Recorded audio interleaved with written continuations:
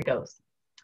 So as I said, welcome uh, to the Scarborough Repair and Bike Cafe. Frank um, is, Kaufman started taking things apart at age four, building his first radio at age eight, and repairing various items at age 12. His formal education is in electronic engineering, but his practical experience includes woodworking. Um, okay, uh, I'm to pin him so you can see him actually um, woodworking, metalworking, construction, and computer technology. His wife is actively involved in quilting, sewing, and embroidering, and has a collection of machinery related to these activities. Frank has been doing the repair, adjustment, and maintenance of these machines for over 40 years, as well as the machines belonging to her friends. He has been an active member of the Repair Cafe Toronto Fixers for years, working with a great variety of items, electronic, electrical, or mechanical, and fixing things from watches to appliances. Thank you. Frank, take it away. I couldn't have said it better. My involvement with sewing machines started, I don't even remember when. As long as I can remember, there were sewing machines around. My mother was working on a sewing machine. Uh, and uh, whenever the repairman came to do either repair or maintenance, I was hanging on to him because I wanted to see what is going on and I started learning about it. And I've been around sewing machines ever since through my wife, who is very involved, has probably a dozen machine, but a dozen machines around from the very early 1920 Singer machine to a very recent computerized $12,000 equipment. So I was asked to do a session on sewing machines and we broke it into two. One, what we are going to do today is basically going through how sewing machines operate, what kind of machines there are, what is the similarity and what is the difference between them. The next session that we are going to do next week is going to be a practically on hand maintenance like oiling, cleaning, and minor repairs that people can handle on their own. We'll go through tools. What tools do you need? What are the best? What kind of uh, material like oil, grease, etc. to use? That will be our session a week from today. So without further ado, let me share my screen and we'll get going.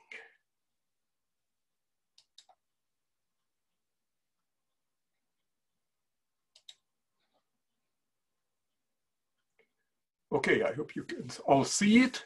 So we are going to talk about how sewing machines work.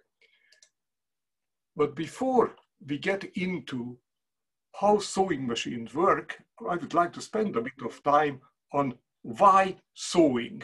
What are we trying to achieve? And my definition of sewing is fastening two or more flexible materials with a long strand. May that be a string, or a thread or a wire, but you are putting different materials together, and these are flexible, floppy, not solid material. Closing was the first item that we believe our forebears were sewing together. They were taking pieces of fur and stitching them together For that, they had to use some implements. One of the early tools were needles. Now, of course, these needles that they were using were far from what we are using today. They were taking sections of a bone that they managed to make a hole in, or used a fishbone, which could be used as it comes because it's pointy on one end and blunt on the other.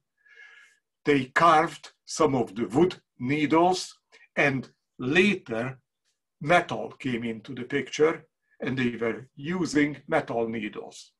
The key about a needle, it comes in different sizes and in different shapes. When I say different shapes, it's either straight or curved. Curved needles are handy for sewing by hand, doing upholstery, things like that. Especially when you have no access to the backside of the material, like in upholstery. The hole for the thread on all of these needles on the blunt end.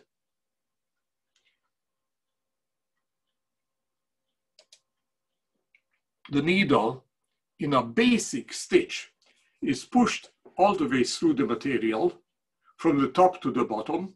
Then you reach under, pull the needle through, pull the thread all the way down, then push the, the needle back up from the bottom to the top, but it is at a different location. If you look at a sewing machine, you realize that the only way it can handle a needle is to go down and up. And when it comes up and down, it's doing it at exactly the same location.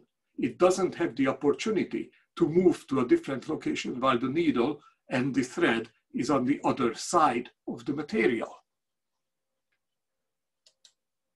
So when the invention of the sewing machine came up, the revolutionary thing in it was that instead of using a single a single uh, thread, they were using two threads, one on the top, one on the bottom. When the sewing machine needle pushes the thread through the material, it creates a V shape. As soon as it starts pulling the needle back up, because there is friction, the thread does not come out, but that V shape opens up in a U shape loop. What we are doing with a sewing machine is take an other piece of thread and put it through the loop, that U-shaped part that was created by pulling the needle up. And once the needle is up all the way and pulls the thread with it, the bottom thread stops the U-shaped thread part to pull out of the material and holds it. Then the material moves to the next location and the needle comes down and does the same thing again. This is what it looks like. As you can see, the yellow thread is the top thread in the needle. The green is the bottom thread that comes from a spool that we refer to as the bobbin. And you can see how the needle comes down, creates that loop, and the pointy part of that circular object grabs the end and pulls it around the bottom thread, and that stops it from moving up. The part that is turning around and grabs the end of the uh, thread is what creates the actual stitch. It is referred to as a hook. So in this particular illustration, you can see the mo needle moving up and down, the bobbin supplying the bottom thread, and the hook moves around and turns the loop around and hooks it onto the bottom thread. all sewing machines work exactly the same way. It doesn't matter what kind, it doesn't matter who made it. The basic principle is exactly the same on every one of the machines. The material itself needs to be moved. It's not good enough that we take the thread and put it through the material and then get it hooked there. Now we have to move that material to the next stitch location. It is done by a serrated metal piece that sticks up at the bottom where the material sits. And if you don't have any material and run the sewing machine, you can see it coming up, moving towards the back, then comes down, moves down forward, up again towards the back, and it rotates like that. Every time it comes up and moves to the back, it moves the material to the next stitch location. The very first sewing machines could only do one stitch. It was one stitch length. There was no adjustability and could only go forward. The newer development on the machines allows adjustability so you can set how far that material is going to move. So how many stitches per inch or per centimeter the machine is going to make, it is your choice. The same way, there is on most machines a lever. If you press that lever, instead of the material moving forward, it is now moving backwards, actually towards you. You can do all kinds of magic, like pushing your sewing straight, you push the reverse, it comes back a bit, let it go, go again. So now you had a stitching over itself three times, and that's how usually you finish.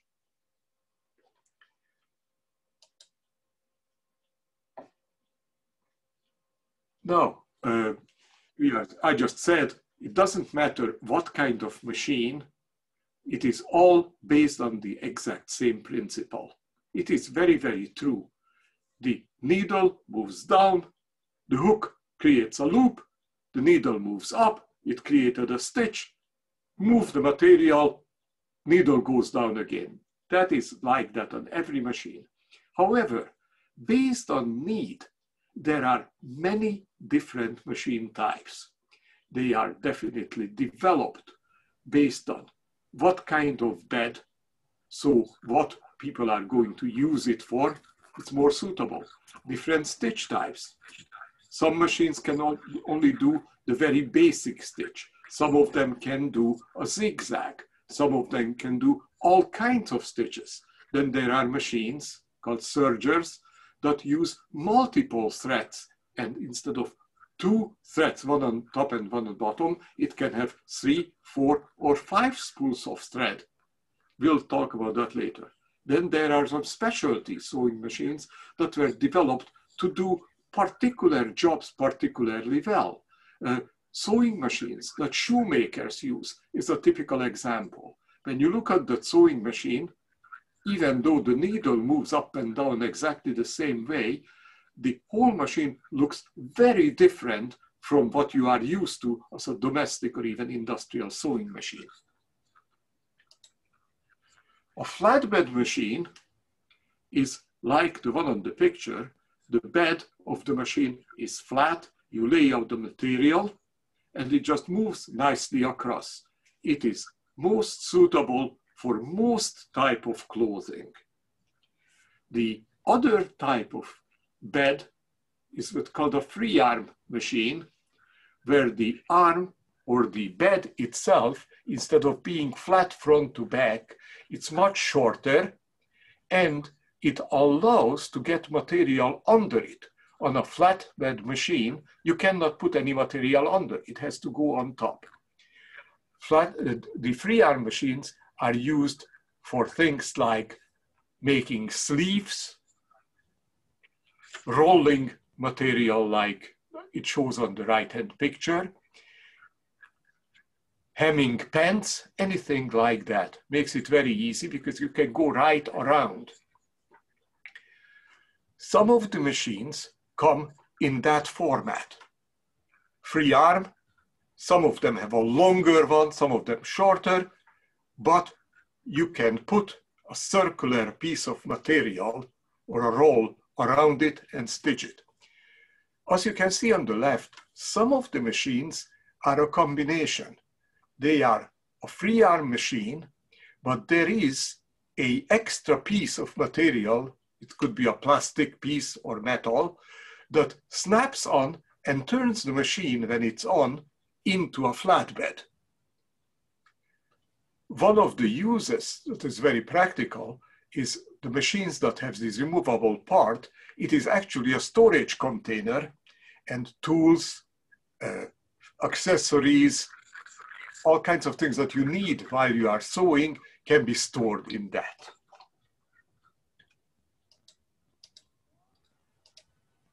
Then there are long arm machines.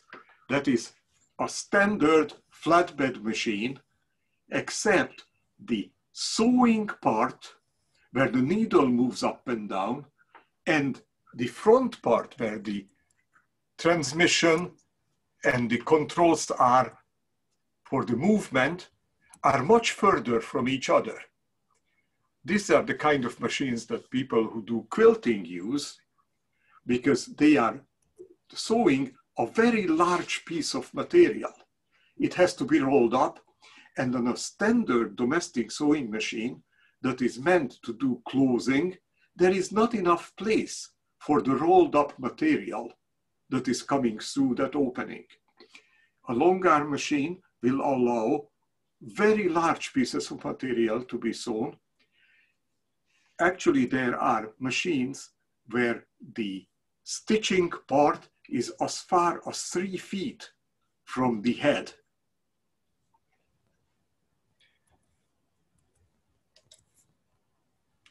So as far as the machines, we determine there is a domestic sewing machine, and that's what most people in a home have. The domestic machines are either a flatbed or a free arm machine with capabilities of doing the basic things that people in a home environment would need. Creating, making clothes, repairing, anything like that. The industrial sewing machines, on the other hand, are exactly like a domestic machine, but built much larger. It's much heavier duty. It can sew much thicker material, including leather, and it has a much larger, heavier duty motor if it's an electrical. All industrial machines these days, and I would say 98% of the domestic machines are using electric motors. Then there are specialty machines that are designed for doing just one particular unusual different job and it's doing it a very good way. It's a very good application. Uh, I've mentioned earlier the machines that shoemakers use.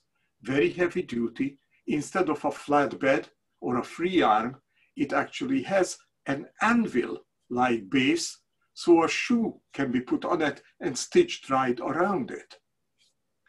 There are other specialty machines like machines that are used, people uh, laying carpet and creating specialty designs. They stitch pieces of carpet together. There are industrial sewing machines that are used by people making suitcases. That has to go through cardboard and a layer of uh, leather and a layer of lining. It needs thicker needle, a stronger machine, a longer needle movement, but it only needs to do straight stitches. No need for any fancy stitching for that. Those are different specialty machines that are available. Now uh, we are talking about the needles and they are fairly straightforward. The lower thread is handled on a bobbin. The bobbins are a round or elongated spool. The long bobbin was the very first one that the sewing machines used in the very early days. And as you can see, there is a spool, the thread is wound up on it, it's put into the bottom case, which called a bobbin holder. And uh, it goes into the sewing machine. Today's machine almost exclusively use round bobbins. Now let's talk about that for a moment. The bobbin, and you can see the one in the center, bottom two, has a hole in the middle, and it has a little notch next to it. Most bobbins have a notch like that. It's very important because that's what allows the machine to turn it like when you put it on the winder to fill it with thread. In the bobbin holder itself, there is no need for that. As the thread is pulled, it automatically turns. There are bobbins made from metal or from plastic. When you look at the picture, there are some metal bobbins here with a single hole with four or six, there's one with three, some of them eight or 10 holes. The number of holes don't really serve any other purpose than once it's in the holder, you can look at it and you can see what color thread is in it without pulling it out. Otherwise, a solid side bobbin or a perforated bobbin work exactly the same way. What you have to watch for is they look very, very similar, but there is a slight difference in size. There could be a difference in the outer diameter, there can be a difference in the thickness, and there can be a difference in the size of the hole in the middle of the bobbin. You can buy pre-wound bobbins. They may or may not fit your machine. It's important that you get the right bobbin for the machine. For the same machine, you can get metal bobbins or plastic. The plastic ones are ridiculously inexpensive. I just bought for my wife a, hundred, a bag of a hundred plastic bobbins for six dollars. So that's six cents each. Uh, she has, I don't know how many of them, every one of them has different thread, and that way whatever she needs just picks it up. What is very important is make sure the bobbin you are using is the right one for the machine. If you don't have the right bobbin, it is creating different problems. The thread is not coming or not coming out smoothly enough. So the stitching will be uneven. Uh, um, it, Frank, can I interrupt you for a couple of questions that have come up? That sure, please do. Okay, so one of them, just, just uh, there's several, but I'm going to ask Kathy's first because it comes to what you just said. Is there that much of a difference between using a plastic versus a metal bobbin? And if by chance using the wrong type, but it fits the machine, will it cause any potential future problems to okay. the machine? If it fits the machine, it's the right type. Okay, if it's the wrong type, it doesn't fit. It is not going to work. Either it's not going to fit because it's too big, or it's not going to stay in the middle because it's too loose, or uh, you won't be able to close the bobbin holder because it's too thick. Okay, so uh, it's fairly easy to tell if you have the right one in place or not. While we are talking about that, uh, oh, and uh, to answer the question, if it's the right size, it doesn't matter if it's metal or plastic.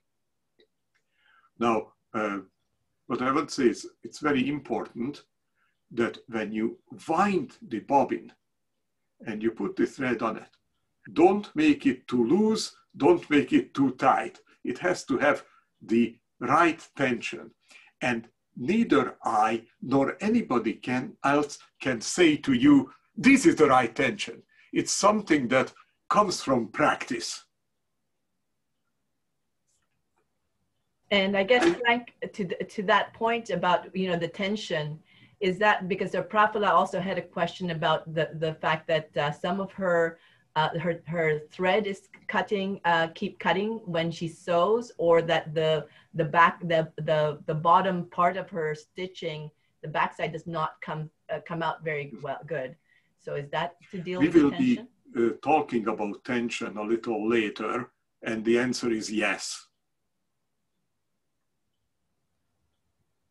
Okay, what That's other good. questions do you have? That's good. Yeah, the, the other one question was about the, the fabric feed not working, but I don't know if you've talked, you, you, you, you talked um, very briefly about the, the fabric feed itself. When that's not working, what is usually the issue? Is it, is it more mechanical or? It is mechanical and we'll cover it next week. Okay, thank you. Okay, so that's about bobbins. Now, bobbin winding. most machines, or I would say all domestic machines, have, have a bobbin winder built into it. That can be usually, it usually is on the right hand front of the machine on the top. You have a place to snap the bobbin in. You put the thread on it, loosen the clutch part on the sewing machine and let it rip. It's not going to move the needles, but the hand wheel is going to turn and it will wind the bobbin. Most of the winders work well and it, then they have a little mechanism that when it's full, it just disconnects. The picture shows an external bobbin winder. It is usually used on heavy duty industrial machines. These ones will wind the bobbins very well, very tight, very accurate. And uh, the large wheel on the left-hand side is the one that is installed such a way that it touches the belt, the drive belt of the machine, and that's how it operates. You will see this on industrial sewing machines. I know a number of people who have one of these installed on their sewing table on a domestic machine because it goes faster and it does a neater job. So that's one of those options that uh, if you feel you have a need for it, they are only about 20 or $25 and they work extremely well. Now, as far as the drives, the early sewing machines had a hand crank. Those machines didn't even have a hand wheel. It just had a crank on at the front and had to turn it and move it forward or backwards, depending. Then it was replaced by a hand wheel, and today every sewing machine has a hand wheel. That's what you use if you do a single, single stitch or two stitches to place the needle in the accurate position and test it's going to the right place. You don't turn on any other drive, you just move the hand wheel, get the needle go down, come back up. Also, you use the hand wheel to pick the, the bottom thread up. Let the needle go down, and when it comes up, it will pull the bottom thread, and you pull it to the side before you start sewing. So this machine on the picture was an early machine that had a hand wheel and then a hand crank attachment to it that was added to it.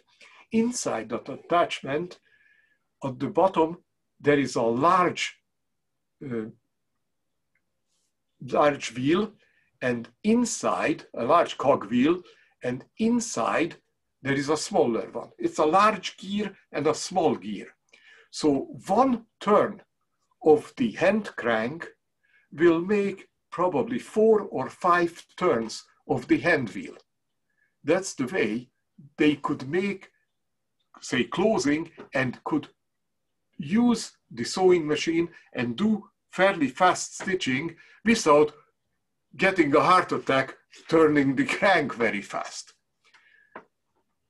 So these are the hand crank machines. You don't really see them today, but there are a few machines that you can get a hand crank assembly for. I honestly don't know anybody using it. The next step was the treadle machine. This is the bottom of the assembly. I'm sure most of you have seen one of these if you haven't tried it.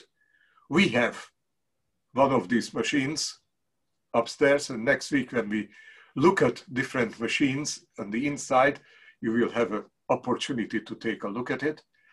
The pedal is moved up and down and uh, that moves the big wheel on the right hand side. From that big wheel, there is a belt going up to the sewing machine, and that's how the machine operates.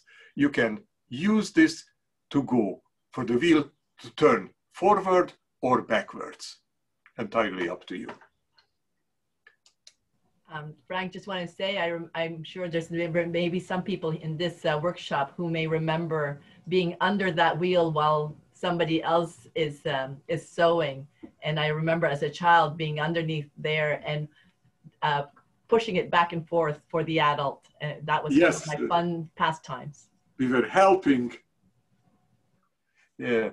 Now, then there are the portable machines and uh, in the very early days, they took, there's a Singer machine on the left, they took a flatbed machine and created a wooden box and a wood cover, sort of a circular top or semicircle top behind it.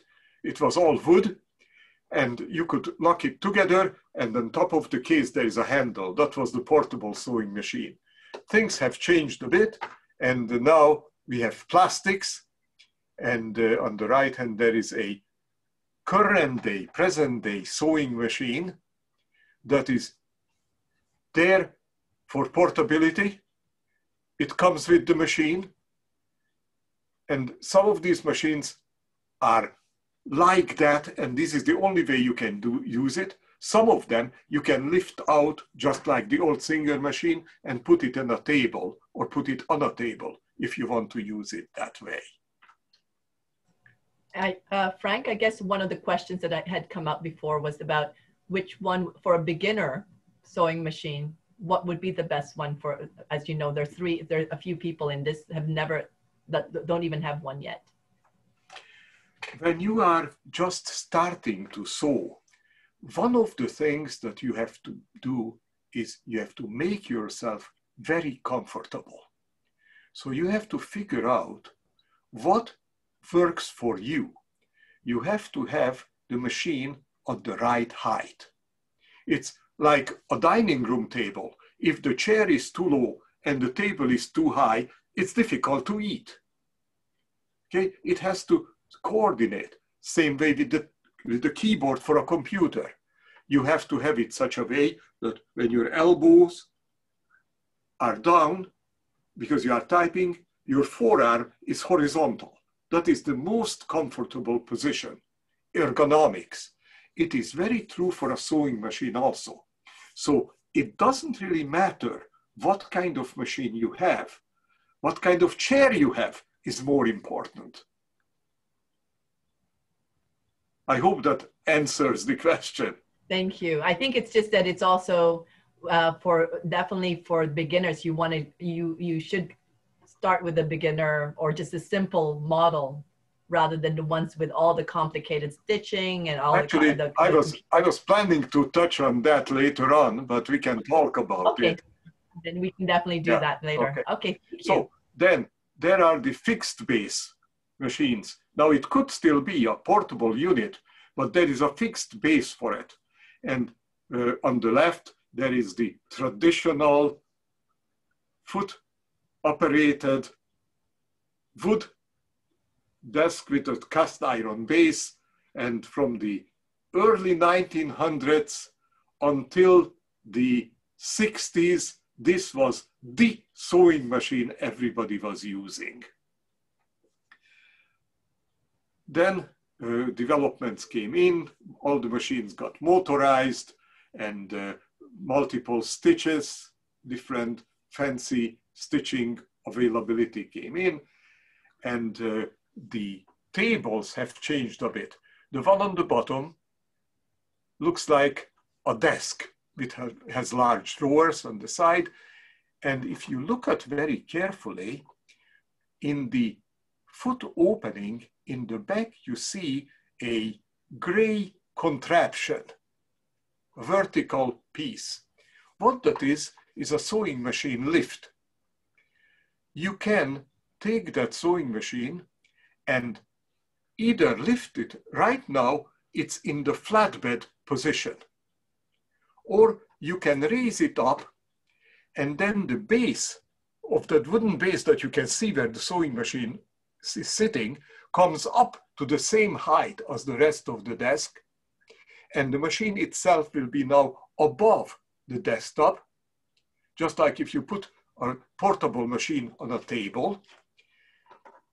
And if it has the removable left-hand side of the end that turns it into a free arm machine, you pull that off and then you can do your free arm sewing.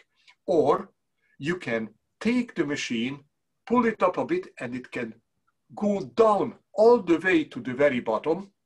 And then there is a rectangular opening in the desk, in the top where the machine was. And this machine, it is, uh, tables usually have an insert that fits in there. So by sinking the machine down all the way and putting the insert in place, now you have a table that you can use for cutting or uh, any other activity. So that is the typical uh, adjustable height base. The one on the right hand side is more of an industrial, it's a metal base with uh, the baskets on the right hand side. There is a price difference, there is less space needed for that, but as far as functionality, all of them work exactly the same way.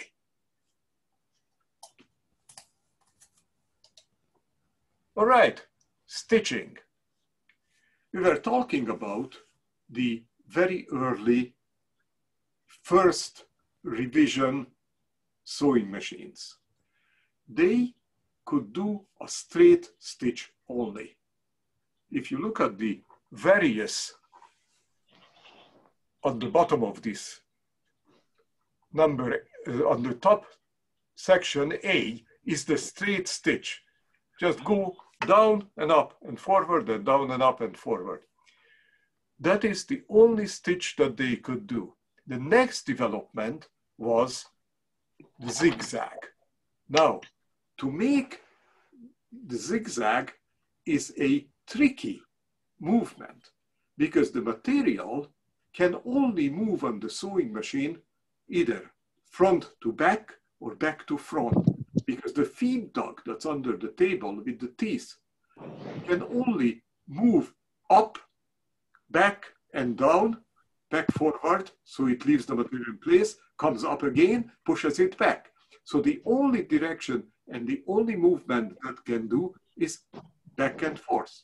The needle in the early machines was doing up and down and it stayed in the same vertical plane. The next development was the zigzag stitch. In this, the needle mechanism, instead of just moving vertically up and down, it has a hinged part at the top. So the bottom part where the needle is can actually move to the left and to the right from the center position. So if you want to do straight stitching, then the needle stays in the center and works exactly like all the previous single mode machines. But there is a mechanism and it's inside some wheels or cogs that are moving that can move the needle, the bottom of the needle assembly to the left and right. So when you want to do a zigzag stitch, the needle comes down, but it's moved to the right. It comes down through the material, comes up, and while the feed dog moves the material from the front to the back, or from the back to the front, depending on how you have it, the needle assembly swings from the right hand position to the left hand position. So when it comes down, even though the needle only moved from the left to the right, since the material moved from the front to the back, the stitch itself is on an angle. Now, when you make the next stitch, the same thing happens. The feed dog moves the material from the bottom, from the front to the back by coming up from the bottom, and the needle assembly moves from the left to the right. So now you have another stitch on an angle. The size of these stitches will depend on two things. One is if you can adjust the movement of the needle from the left to right. Some machines you can, some of them you cannot. The early machines had only one choice. Either it stayed straight or moved left to right, left to right, but it moved exactly the same distance. So you could do a zigzag stitch, but it was one single size.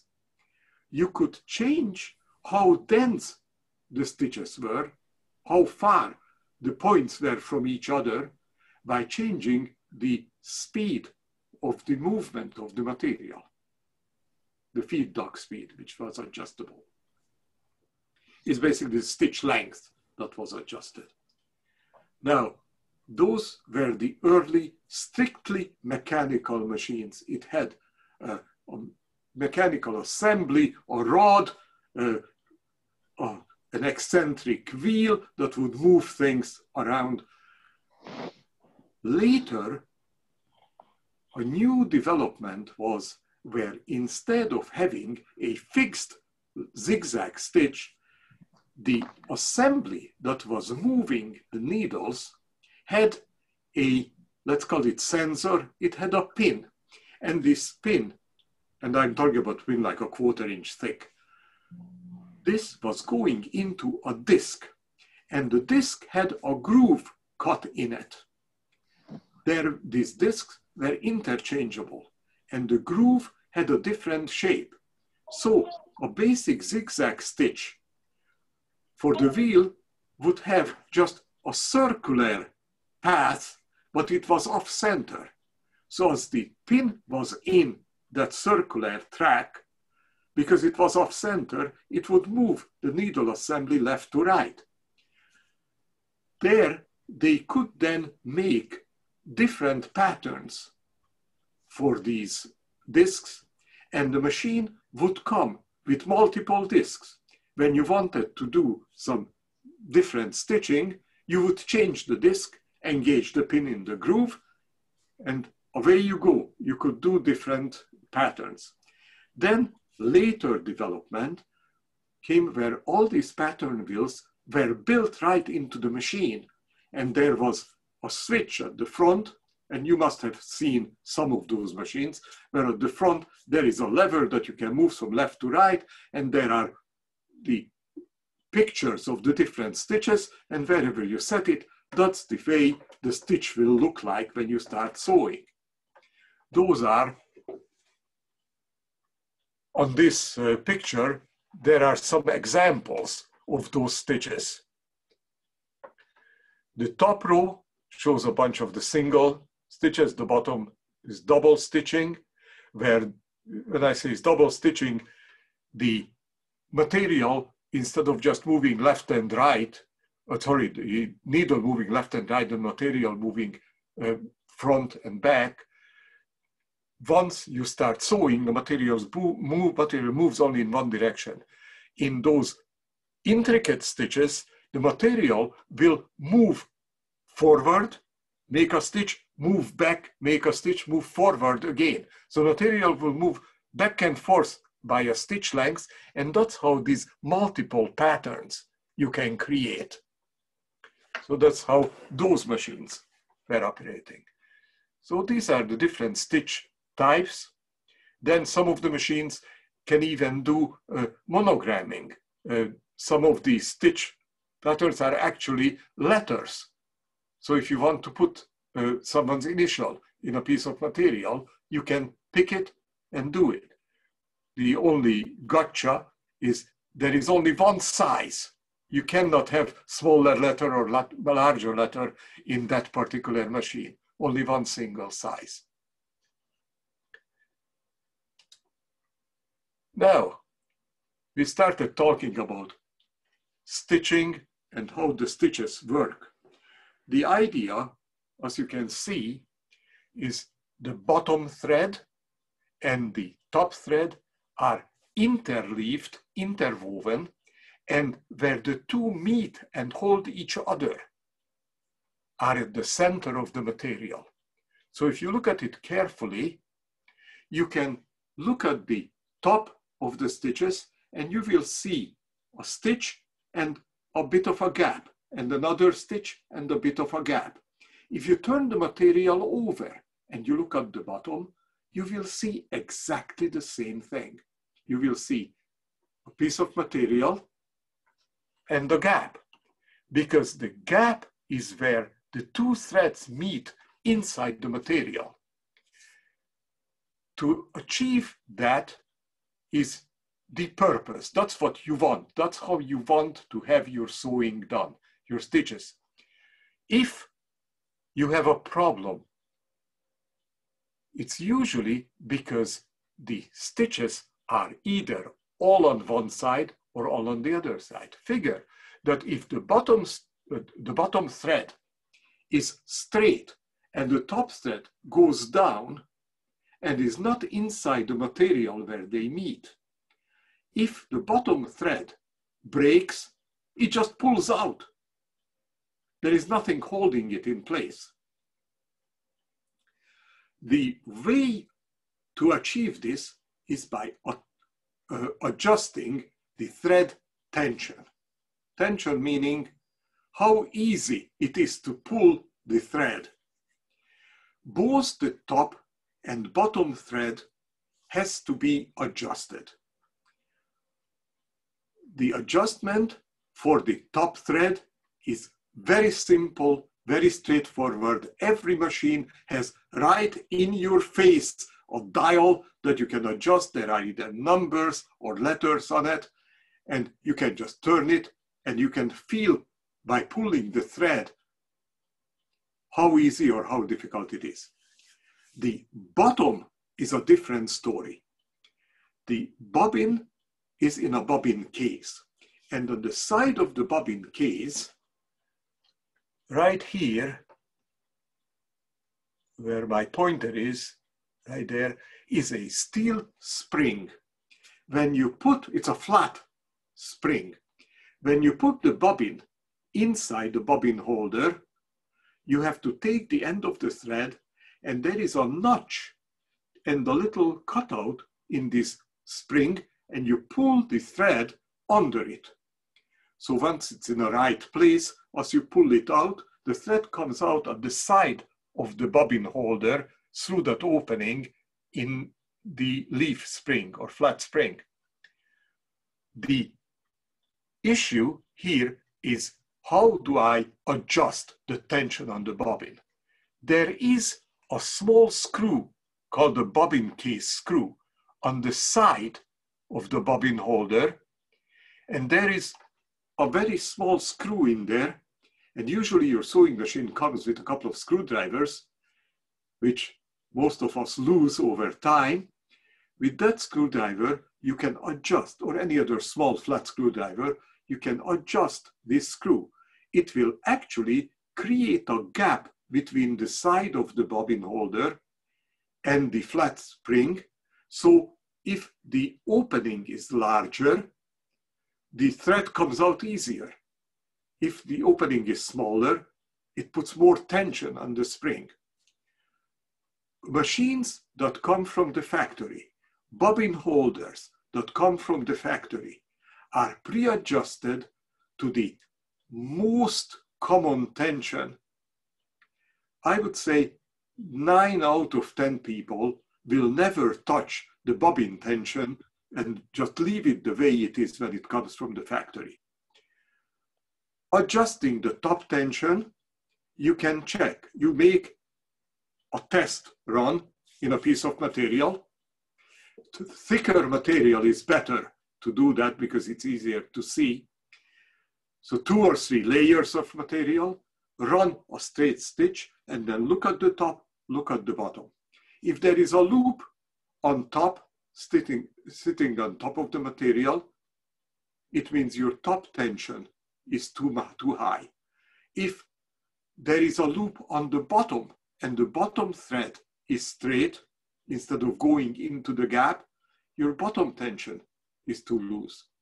Usually, just by adjusting the top tension, you can achieve the proper stretch formation, proper thread formation without any extra stretching.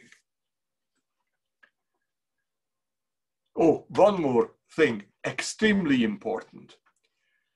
The bobbin holder is such that the bobbin can be put into it either way. The difference is that the thread either comes out when you pull it by the bobbin turning clockwise or turning counterclockwise, depending on which way you put the bobbin into the holder. It is extremely important that you have the bobbin in the right direction, that when you pull on the thread, it moves in the right direction. If you have a problem with the bottom thread breaking, most of the time it's because the bobbin is in the wrong way in the holder.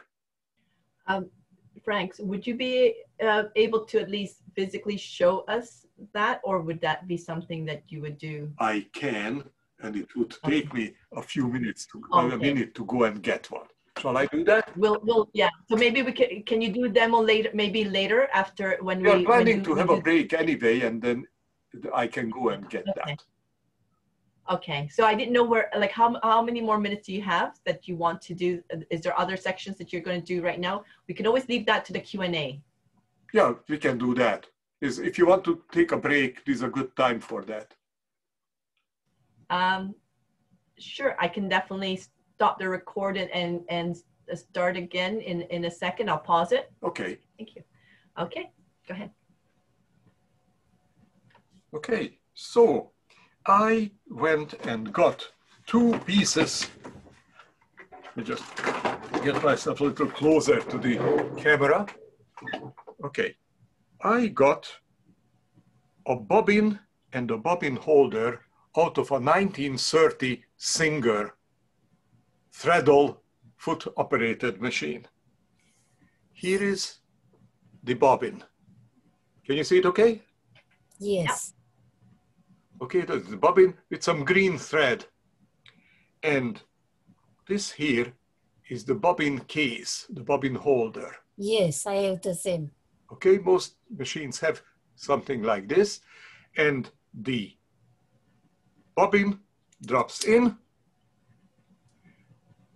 And in this case, what you do is pull the thread through a slot that is in there under the spring. You'll have to bring it up higher, uh, Frank. Okay, sorry, under the spring. I have it in the spring now, and as I pull the thread, you see it's turning. Oh, okay. And what I said is I have to make sure that it's turning the right way. And when you ask me what is the right way, I cannot tell you because different machines have different. Okay, so this is uh, now, if you look at it on the side, let me try to get this lamp closer so you can see what I am doing here. On the side, there is a screw, a small screw. Yes. And this is the metal spring under it, right? Yes. And with that screw, you can adjust the tension. So when you Oh, pull the thread, you can feel that it's coming just about the right way. Loosely. It's, but not too loose. Okay, so now I have here a bobbin, a plastic bobbin with some yellow thread, Yes. and that fits into this very recent Janome. Yeah. In a way, it looks different, but it works the same way. The bobbin drops in like that. Yes. There is a screw here to adjust. It's hard to see. But the same way, there's a screw here on the side to adjust the tension. And you take the thread and put it under the appropriate place. And then when you are pulling on it, of course, it usually it's horizontal, it moves the right way. Okay? Okay. This is what you wanted to say. It's important that it moves in the right direction. And how do you know what is the right direction? We'll come to it in a second. Okay. Okay, let me Thank get you are very organized. Your your workshop looks very nice. I try to be that way. okay, now let me go back to where we were.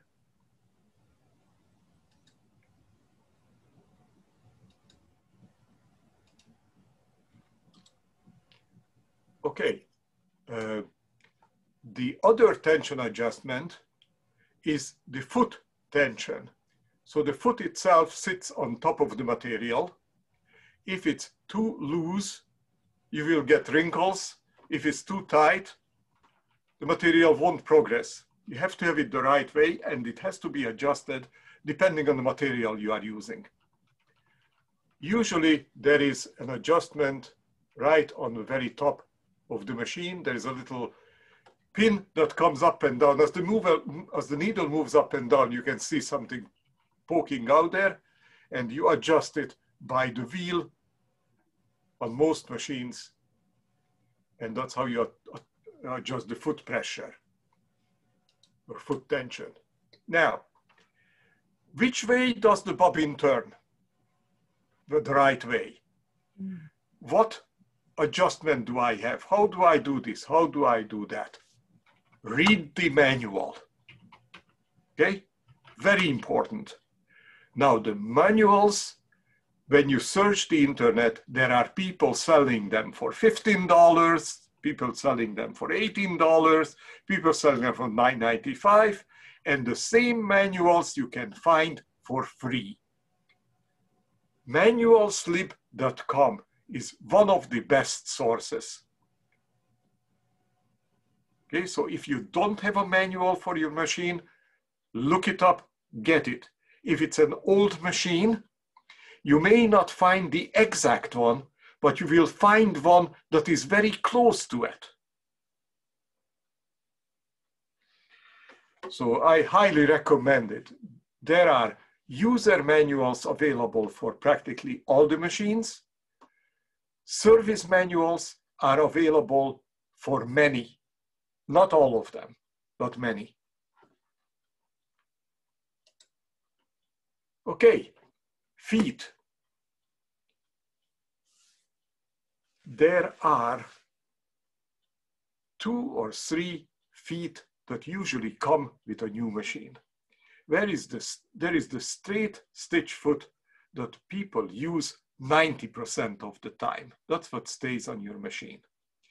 There are no operation that you could not do using the basic straight stitch foot.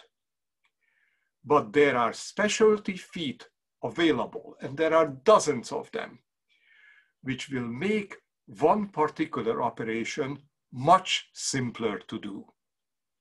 So I highly recommend that if you do certain repeat operations, get a proper foot for it if it's available and use it. You can buy a 30 or 35 foot assortment for $20. It's not a major expenditure, so I highly recommend it. Then there are attachments. Attachments are gizmos that will allow you to do certain things. Once again, uh, one of the most popular attachments is the buttonhole attachment. Many of the machines come with a buttonhole attachment. There is the ruffling attachment. Uh, there are many others that are available. Search it out. The difference between a foot and the attachment is that the attachment will screw on the machine some other way instead of just replacing the basic foot.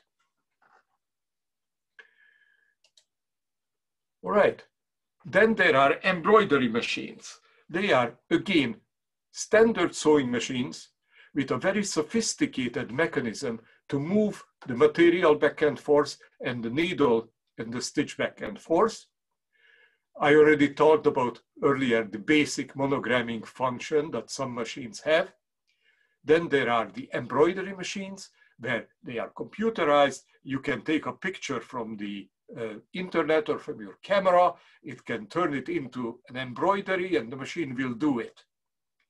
Uh, they are fairly sophisticated and rather expensive. If you do a lot of stitching like that, a lot of uh, embroidery work, and you don't want to do it by hand, they are wonderful. But you pay a price. Then there are sergers. A serger is a very, very special sewing machine. It has a needle going up and down, just like a standard sewing machine, and it has a spool of thread, but there are either, depending on the machine, either two, three, four, five, or six more spools of thread, and there are little arms called loopers that will take one of the other thread and move it into the way the others. So let me show you a picture how it works. The needle in the middle goes up and down exactly the same as in the standard sewing machine. But a looper and the metal piece with the hole in it is the one moves into the way and will put a loop of other thread around the needle.